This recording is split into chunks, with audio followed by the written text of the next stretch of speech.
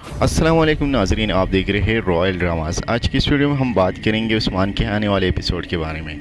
तो चंद ही सवाल है कि सलजूकी सिपाही का काई कबील में क्या करने आए हैं। दूसरा सवाल ये है, उस्मान बे क्या नया मंसूबा बनाएँगे? तीसरा सवाल ये है, क्या ये सीज़न मुकम्मल हो गया या इसके और भी एपिसोड बाकी हैं? चौथा सवाल ये है कि नई सिपाहियों की एंट्री कब होगी और उसमें कौन कौन हो सकते हैं? तो सबसे पहले आते हैं।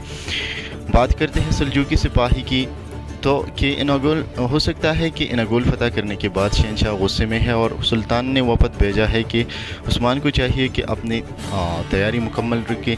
दूसरी बात यह है कि तुर्गत की खबर कोनिया में पहुँची होगी, जिस पर उसने महल में जिस पे उसने महल में उसको तलब किया होगा। तो उस्मान बे तुर्गत को हरगिज़ नहीं भेजेंगे।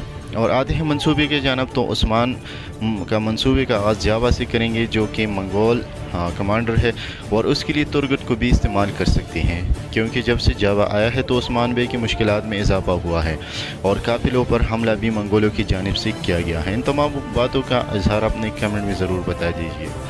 तो आते हैं अब कि और नई सिपाहियों की एंट्री कब होगी और कौन कौन से हो सकते हैं? तो उसमें अहमद एलब जो कि आप लोगों ने दूसरे सीज़न में देखा होगा, उसकी एंट्री हो सकती है। दूसरा ये है कि सलतूक को जो कि आइगल का बेटा है तो उसकी भी एंट्री हो सकती है। इसके अलावा तुरगत, जिसको कुल्हाड़ी वाला भी बोलता है, उसकी भी एंट्री वाजी है। लेकिन अभी तक ये तो नहीं पाए कि वो ख़ुद होंगे या कोई और मरकज़ी किरदार अदा करेगा। और चौथा जो सवाल है कि क्या ये सीज़न मुकम्मल हो गया है या इसके और एपिसोड बाकी हैं?